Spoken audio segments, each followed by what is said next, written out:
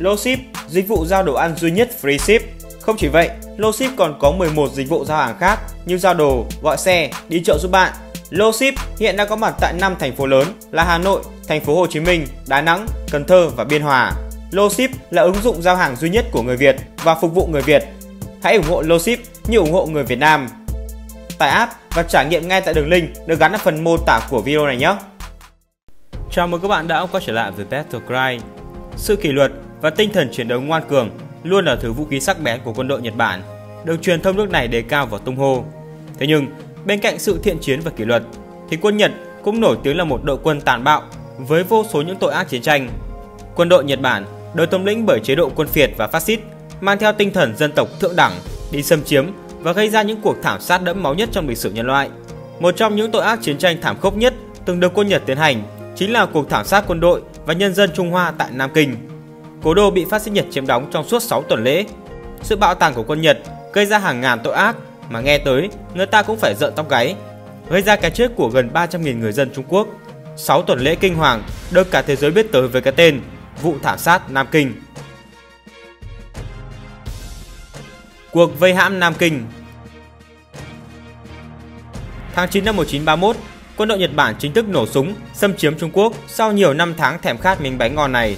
Lợi dụng vụ đánh bom ở đường dây xe lửa thuộc sở hữu của một công ty Nhật Bản, Nhật Hoàng lập tức quy chụp đó là một hành động tấn công phi lý của chính quyền Mã Thành vào người Nhật và nhanh chóng ra sắc lệnh tiến công Trung Quốc. Nhiều tài liệu được công bố sau này khẳng định vụ phá hoại đó rất có thể là do chính quân Nhật thực hiện để lấy cớ cho cuộc xâm lăng. Quân đội Trung Quốc dẻo dã dưới sự lãnh đạo kém cỏi của triều đình Mã Thành thối nát, không phải là đối thủ của quân Nhật thiện chiến với những trang bị hiện đại bậc nhất. Sau khi hoàn toàn nắm gái được triều đình Mã Thanh năm 1932, Nhật Hoàng Hirohito phê chuẩn việc thành lập một chính phủ bù nhìn, đứng đầu là vị hoàng đế cuối cùng của nhà Thanh, hoàng đế Phổ Nghi, và đặt tên mới cho tỉnh Mãn Châu là Mãn Châu Quốc. Trong suốt nhiều năm sau đó, quân Nhật nắm hoàn toàn thế chủ động tại chiến trường Trung Quốc. Khi hai lực lượng cộng cán có thể trực tiếp đối đầu với quân Nhật là Đảng Cộng sản và Quốc dân Đảng thì lại đang lao đao về cuộc nội chiến. Thời điểm đó, Quốc dân Đảng do Tưởng Thế Tạch chỉ huy đóng quân ở Nam Kinh. Tưởng rằng hai lực lượng vệ quốc quân của Trung Hoa đã khánh kiệt trong cuộc nội chiến, Nhật Bản tỏ rõ tham vọng xâm chiếm và thiết lập sự kiểm soát lên toàn Trung Hoa. Năm 1937, sau sự kiện cầu Marco Polo hay còn gọi là sự kiện Lưu Câu Kiều gần Uyển Bình, cách Bắc Kinh 16 km, quân Nhật cáo buộc lính Trung Hoa đã bắt cóc một tên lính của chúng và chúng đòi lục soát từng nhà, nhưng chính quyền Trung Hoa không cho phép. Thế là quân Nhật lấy cơ đó để xâm chiếm Bắc Kinh. Nhật Hoàng Hirohito ra lệnh xâm lăng toàn bộ đất nước Trung Hoa, dẫn tới cuộc chiến Trung Nhật. Quân đội Quốc dân Đảng và Đảng Cộng sản Trung Quốc cũng ký hiệp định đình chiến để thành lập một liên minh chống quân Nhật. Mưu đồ của Nhật Bản hoàn toàn bị đổ bể sau khi lãnh đạo hai đảng là Mao Trạch Đông và Tưởng Giới Thạch chính thức đặt bút ký tên lên bản hiệp ước đình chiến. Một đội quân liên minh được thành lập với mục tiêu duy nhất là đánh đuổi quân Nhật ra khỏi biên giới. Cuộc kháng chiến của quân đội Trung Hoa diễn ra vô cùng ác liệt và đẫm máu. Cuộc đụng độ tại trận Thượng Hải vào tháng 8 năm 1937 đã gây ra tổn thất nặng nề cho quân Nhật bằng chiến thuật đánh giáp lá cà được quân đội Trung Quốc áp dụng. Thất bại tại thành phố Thượng Hải, Nhật Hoàng quyết định tấn công Nam Kinh, thủ phủ của Quốc dân Đảng dưới sự lãnh đạo của Tưởng Giới Thạch nhằm phá vỡ tinh thần kháng chiến của nhân dân Trung Hoa. Từ Thượng Hải tới Nam Kinh, binh lính Nhật Bản sau đó đã thực hiện nhiều hành vi tàn bạo, nổi tiếng nhất là cuộc thi chặt đầu 100 người. Sau khi quân đội Nhật Bản áp sát Nam Kinh, thường dân Trung Quốc lũ lượt bỏ chạy khỏi thành phố và quân đội Trung Quốc đưa ra thi hành một chiến dịch tiêu thổ kháng chiến với mục tiêu hủy hoại bất cứ thứ gì có thể bị sử dụng bởi quân đội xâm lược Nhật Bản. Các mục tiêu bên trong và bên ngoài phạm vi thành phố như các trại lính, nhà cửa, bộ thông tin Trung Quốc, rừng rú và thậm chí là toàn bộ các ngôi làng đều bị đốt cháy tận móng. Ước tính giá trị của chúng lên tới 20 đến 30 triệu đô la Mỹ vào thời gian năm 1937. Nhiều người phương Tây sống trong thành phố vào thời điểm đó chủ yếu là thương nhân và nhà truyền giáo có sức ảnh hưởng thì cũng không khỏi kinh hãi trước các phi vụ ném bom được quân Nhật thực hiện. John Raby, người đại diện của tập đoàn Siemens AG, tập đoàn thiết bị công nghiệp lớn nhất nước Đức, đã đề xuất thành lập một ủy ban lấy tên là Ủy ban Quốc tế về an toàn khu Nam Kinh, có thể là lo sợ trước sự ảnh hưởng của tập đoàn tài phiệt nước Đức sẽ dấy lên mối nguy hại từ quân Đức. Chính phủ Nhật Bản đã chấp nhận không tấn công vào các vùng không có quân đội Trung Quốc chiếm giữ của thành phố và các thành viên của Ủy ban Quốc tế về an toàn khu Nam Kinh đã tìm cách thuyết phục chính phủ Trung Quốc rút lui toàn bộ binh sĩ của họ ra khỏi khu vực. Ngày 7 tháng 12 năm 1937, quân đội Nhật Bản ra một sắc lệnh cho tất cả các binh lính cho rằng hành động chiếm giữ một thủ đô của nước ngoài là sự kiện chưa từng có với quân đội Nhật Bản. Vì thế, tất cả những binh sĩ phạm bất kỳ hành vi sai trái nào làm mất danh dự của quân đội Nhật Bản sẽ bị trừng phạt nghiêm khắc.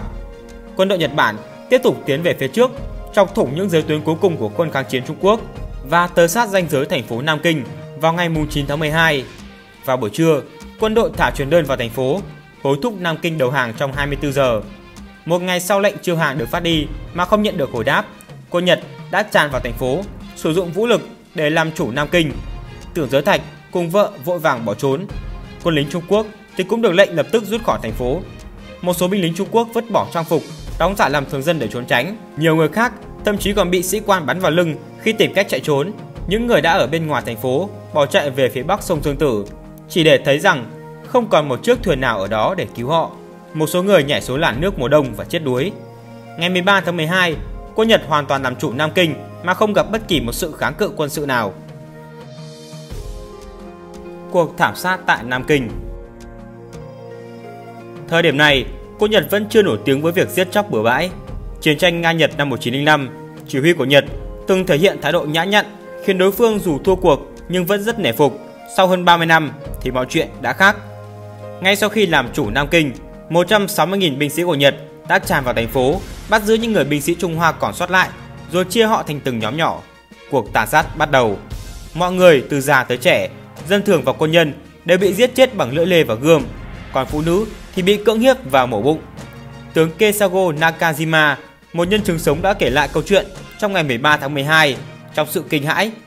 Ở đâu cũng có tù binh, đến nỗi chúng tôi không thể kiểm soát được hết. Tôi nghe nói đơn vị Sasaki giữ 1.500 người, một đơn vị khác thì giữ 1.300 người. Một nhóm lính Trung Hoa khoảng 8.000 người ra đầu hàng. Chúng tôi cần một cái hào thật rộng để giải quyết bọn tù binh này, nhưng lại không có cái hào nào. Lúc ấy, một người đã đưa ra sáng kiến, hãy chia chúng thành từng nhóm nhỏ rồi đưa tới một nơi thích hợp để khử chúng. Chặt đầu là biện pháp được quân Nhật yêu thích nhất. Tuy nhiên, những biện pháp tàn bạo khác như thiêu sống, đóng đinh lên cây, chôn sống và treo lưỡi cũng được áp dụng. Một số người bị đánh tới chết. Người Nhật cũng có thể đơn giản hành quyết những người đi bộ trên đường, thường với lý do là họ có thể là binh lính cải trang thành dân thường. Hàng nghìn người bị giải đi và bị hành quyết tập thể tại một chiếc hố được gọi là hố 10.000 xác, một cái rãnh dài khoảng 300 m và rộng 5 m. Thậm chí, nhiều người đàn ông còn bị chém đầu ngay giữa đường. Vì những bản ghi chép không được giữ lại nên những con số ước tính về số nạn nhân bị chôn trong hố này trong khoảng từ 4.000 tới 20.000 người. Phóng viên Tillman Derin của tờ Thời báo New York từng đưa tin về giai đoạn đầu của cuộc thảm sát, nhưng sau đó bị buộc phải về nước giữa chừng. Những hồi ký sau đó của vị phóng viên này được ghi lại trong sự kinh hãi tột độ. Năm đó, tôi 29 tuổi và là phóng sự đầu tiên của tôi là làm cho Thời báo New York. Tôi lái xe tới bến cảng ở Nam Kinh.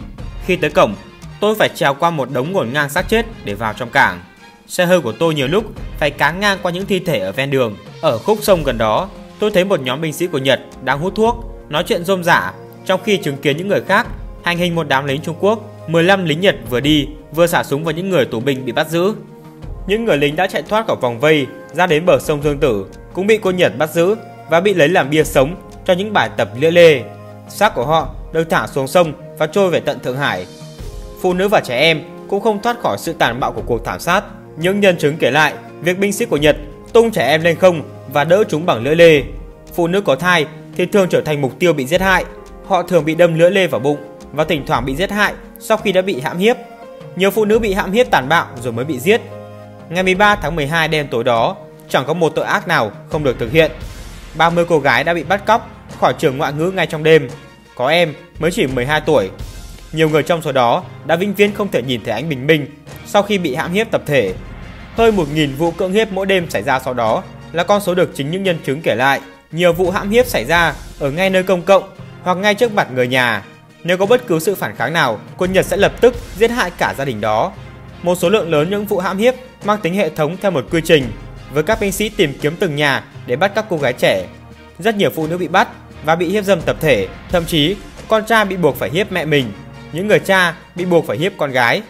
Một phụ nữ có thai bị binh lính Nhật hiếp dâm tập thể đã sinh con chỉ vài giờ sau đó. Những vị sư sãi đã nguyện chọn đời trai tịnh bị buộc phải hiếp các phụ nữ để làm cho mua vui cho quân Nhật. Đàn ông Trung Quốc thì bị buộc phải hiếp các xác chết, bất kỳ sự chống cự nào để dẫn tới sự hành quyết. Tình trạng hãm hiếp đạt tới đỉnh điểm sau khi thành phố sụp đổ. nhưng còn tiếp tục kéo dài suốt thời gian chiếm đóng của quân Nhật. 6 tuần sau đó, quân Nhật sau khi giết chóc và thỏa mãn thú tính đã rút quân vào đầu năm 1938, để lại một thành phố Nam Kinh điêu tàn và chết chóc.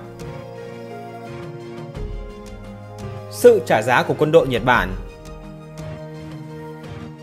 Sau khi quân Nhật đại bại sau Thế chiến thứ hai, vụ thảm sát Nam Kinh được lật lại để xét xử. Năm 1945, Tòa án quân sự quốc tế tại vùng Viễn Đông đã điều tra rằng trong suốt thời gian 6 tuần khủng khiếp đó, đã có 20.000 vụ cưỡng hiếp và khoảng 200.000 người đã bị lính Nhật giết.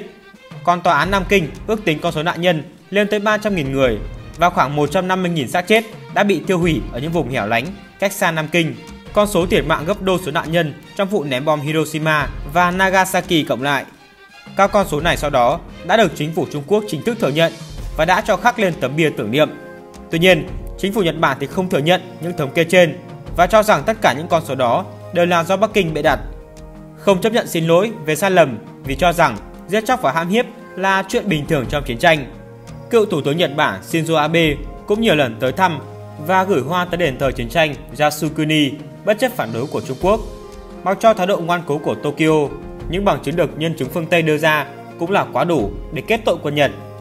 Tướng Iwane Matsui bị kết án tử hình tại tòa án Tokyo vì đã không ngăn chặn cuộc thảm sát và bị kết tội chống lại loài người. Do thỏa ước ký kết vào năm 1945 giữa Nhật Hoàng Hirohito và tướng Douglas MacArthur nên Hoàng thúc Yasuhiko Asaka, người chỉ đạo cuộc thảm sát dân thường tại Nam Kinh, đã không bị đưa ra tòa.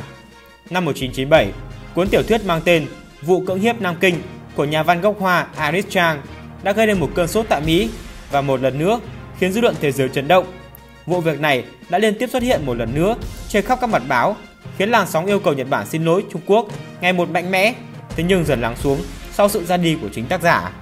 Vụ việc thảm sát Nam Kinh chỉ là một trong nhiều vụ thảm sát điên cuồng mà quân Nhật Bản gây ra cho dân tộc Trung Hoa trong nhiều năm xâm lược. Sự trơ trẽn của chính phủ Nhật Bản khi không chịu thừa nhận những tội ác chiến tranh cũng khiến căng thẳng giữa người dân hai quốc gia lên tới đỉnh điểm. Vụ thảm sát Nam Kinh sẽ mãi là nỗi đau cho lòng mỗi người dân Trung Quốc. Cảm nghĩ của bạn sau khi xem xong video này là gì? Hãy để lại comment ở phần bình luận bên dưới nhé. Hãy subscribe để theo dõi các video khác trên kênh mình nhé. Tương tác thêm với chúng mình trên Facebook, tại fanpage Battlecry khám phá thế giới nhé. Link của page mình có để ở phần mô tả và top comment bên dưới nhé. Ngoài ra, nếu bạn thích thú với những câu chuyện về thế giới kinh doanh, hãy ghé Battlecry thương trường ký chuyện, nơi có những câu chuyện về thế giới kinh doanh cực kỳ thú vị. Còn bây giờ, xin chào và hẹn gặp lại!